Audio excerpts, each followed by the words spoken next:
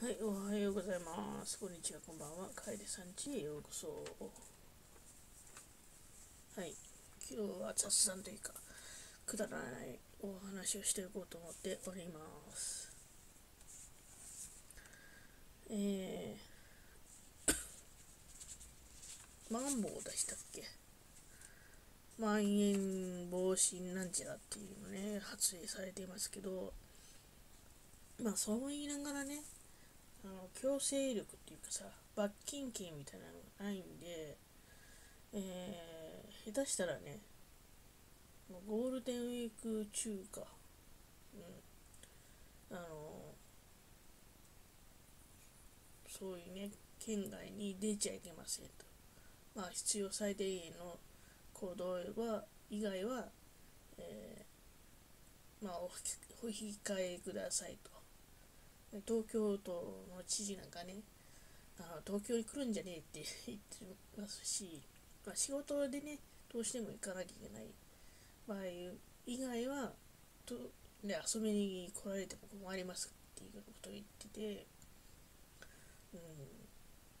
まあ、神奈川県もね、あの知事もなんか2番センチじゃないけど、似たようなことも言ってて、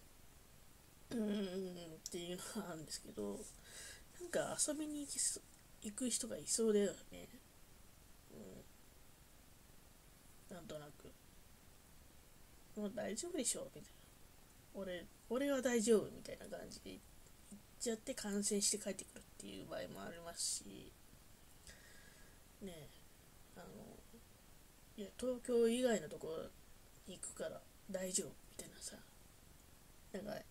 なんか知らないけど、そんな自信どこにあんのっていう、どっから来るのっていうような感じでね、行く人もいるだろうし、ね、ゴールデンウィークウィークだから、遊びに行かないのはおかしいでしょみたいな感じで、ね、あっちこっち行く人もいるだろうし、うん。まあ、そうは言っても、私なんかは県内の神社とかに行こうかなとは思ってますね。もし2日ぐらい、まあ連休で行けるとしたら。うん。とは言ってもね、私の今住んでるところは横浜市なんで、まああんまり動かないでみたいな感じで 言われてるので、まあ本当に市内をうろうろするか、まあ本当に必要最低限のところにしか行かないとか、うーん、かもしれないなぁと思いますね。大体その行って、行くところはもう決まっちゃってる部分があるし、うん、久しぶりにね、その山北の方に行きたいなと思うんですよ。山道の駅山北。で、その近くにね、丹沢湖か、があるんで、そこね、行った覚えがね、ないような気がするんだよね。まあ多分もしかしたら行ってるかもしれないけど、印象にね、残んなかったとか、そういうの、うん、行かなかったりとかしてるんで、ちょっと見て回るぐらいで行ってみたいなと思いますね。うん。でもやっぱりほら、川崎もね、そのまん延防止なんちゃらで、えー、まあ、なんか指定されてるのかな？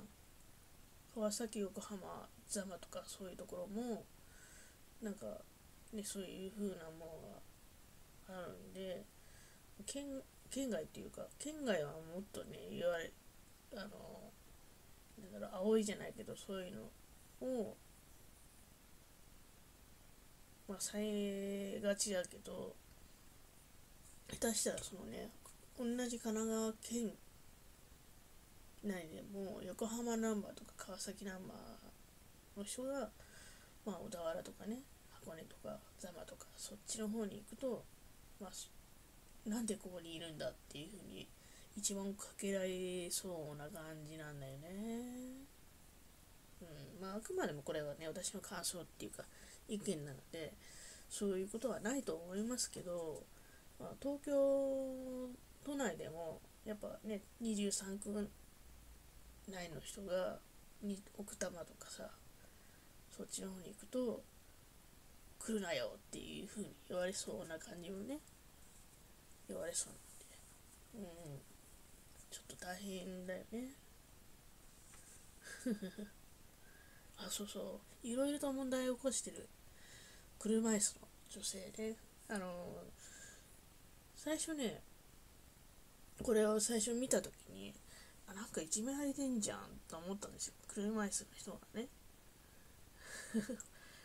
えー、なんで教育してあげないの？とか思っていたんですよ。ちゃんとねあの見たわけじゃないですけどさらっと見ただけでえーと思ったんだけどよくよくこう見てみると、ま、深く見てないんですけどね。見てみるとあこの人テレビで見たことあるわって思っててうん。で生まれながらにちょっと体が弱いというかあのなんだろう、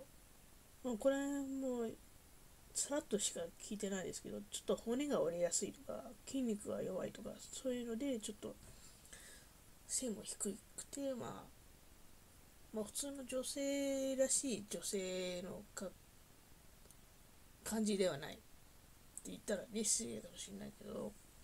同じ病気のね方なんかで失礼だけどうん。まあその人がまあいろいろと JR 東海だったり東日本のある駅で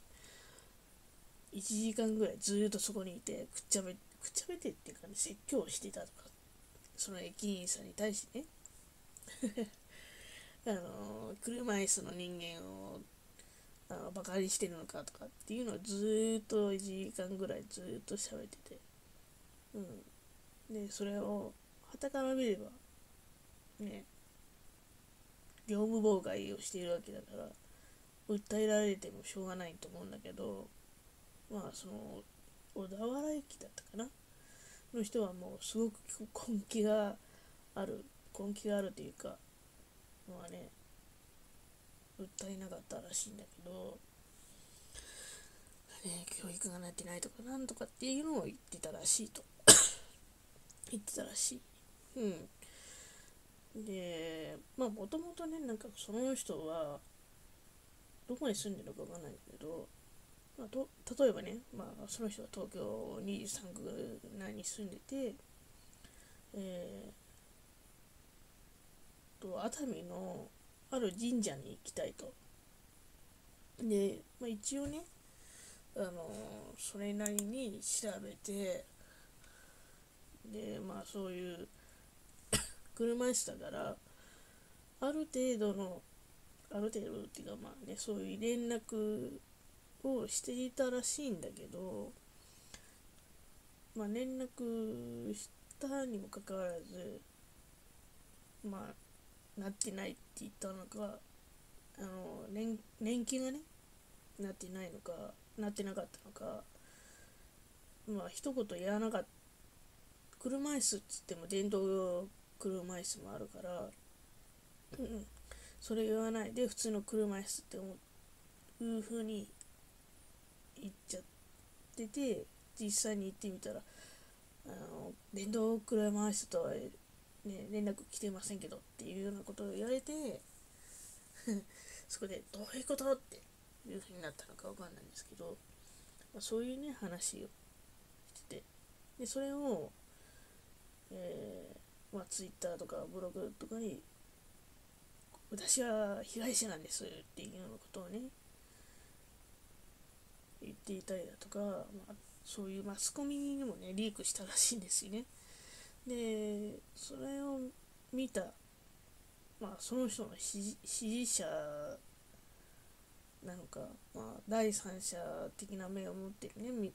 まあ、周りの人が、いや、あなたの方が行き過ぎですよ、みたいな感じで、だんだんと言われ続けてて、で最近だと、その、過去の動画だったりだとかブログのね記事なんかがアップされちゃっててあのこの人はこういう考えの人ですよ、ね、危ない人ですよみたいな感じでね。あのツイッターなりなんなりでもう暴かれまくっちゃっててうんで必死でねそれをもう消したりとかしてたんだけど、まあ、どっかからそういう、まあ、消した記事が出てきたりとかしてて、うん、大変だっていう話をしてましたね。うん。うん、そういうのを言ってましたね。うん。だからまあ炎上してましたよ。で、私がね、それを最初見、その人を最初に見たのは、えー、NHK かなんかで、私はこういう病気を患っていますけど、生まれた時から患っていますけども、えー、無事、無事というか、結婚も、こんな私でも結婚できましたし、子供も生まれました。で、子育ても頑張っていますっていうのが来てね、えー、いい印象を受けるような感じのものをやっていたんですね。うん。だけど、まあ、どうなんだろうね。まあまあ。まあ、そういう病気をしてるからちょっとご両親も甘くしてしまったのかと性格的に難があるっていうふうにね思う第三者からはそういうふうに見られてしまったということがありますね。うん、であとね、まあ、11分過ぎちゃったね。そうそうオカルト系のね都市伝説系のものもそうなんだけどこういう都市伝説があるけど実際は元ネタはねこうこういう話だったんですよでもともとのその小さな話が根掘り根掘りっていうかおひれとかねそういうのがついちゃってこんなに大きくなっちゃったっていうさ真相をこう喋ってくれるまあ動画とやりますよね。オカルト系のもそうだしあの陰謀とかそういうのをまあ動画にしてねこう出してるあとか出してる。まあチャンネルがあるけどそういうのをねどうやって調べてるんですか？知ってるんですか？っていうのをまあリスナーの方が聞いてたんですね。その、まあ、馬面テレビ、TV さんなんですけど、どうやってやってるんですか？って言ってたら、いやいや、あの皆さんがお仕事している、ね、3時間、4時間、5時間ぐらい、ね、お仕事されているのと同じで、その時間をかけて、えー、調べたりだとか、深掘り、どんどんね、調べたりとかしてて、うん、やっています、やってるんですよってお話をし,、うん、してましたね。そういう、まあみんなが興味あるものをちょっと仕入れたりとかしてますよって。で、まあネットでもね、国内外のものを、興味があるものをちょっと調べていますって。うん。大体その今ネットで、ね、出てるのって無料で見れるものは、まあ、無料で見られるけどもっとそこから深掘りできる深掘りがね深掘り何っていうか深掘りの記事その後はどうなんだろうっていうような記事はもう Yahoo とかでもそうだと思うんだけどお金を出してね一つの記事にまあ、2、300円、100円とかもありますけど、それを出してその、その後見れるっていうのがありますよね。うん。だからそういう感じで、まあ、マウスラテレビさんもそうだと思うんだけど、他の、えー、なんだろう、未解決事件を追っている、まあ、チャンネルだったりだとか、そういうところでも、よくそういうところから何情報を得られましたねっていうのは多分そういう情報屋じゃないけど情報を持ってる人にちょっとお金を情報例としてこう出してで引き出すっていうことをねしてるんじゃないかなと思うんですよね。まあ大体それが普通だと思うんですけど。うん。あとはこれをやっちゃいけないよっていうところをね送信して 送信してっていうかあのどういうような感じでダークウェーブなんかでもねあの、まあ、やってる人はいましたね。どういうものがあるとか写真を出したりとか、その今ねオークションとかヤフーオークションとか Google でもオークションあると思うんですけどそれはもう本当に一部表面的になところなんで本当に深いところだとね変な話拳銃があったりだとかナイフがあったりだとかえー、まあ本当にえぐいところをこう売ってたりとかするんですよね。でなんでそれがあるかっていうとそれを買いたいと思う人がやっぱりいるからうん。しお金を払ってまでそれが欲しい。うん、で売る側は売る側でそれを欲しいと思っている人がいるから、まあ、それを出す。でまあそれを含めてなんだけどお金が欲しいっていうのもあるだろうからね。うん。どうなんでしょうかうんまあまあね。人それぞれだったと思ったけどね。まあまあね。オカルトも大変ですよね。それを調べたりとかそういう情報を発信できるかどうかっていうのはね。あの有料動画にする場合もあるだろうからね。うん何とも言えないです。いかがでしょうか。今日はねちょっと長い方ですけど。そのでしょうかもしよろしければご意見いただけたらと思いますそれでは皆さん、さようなら。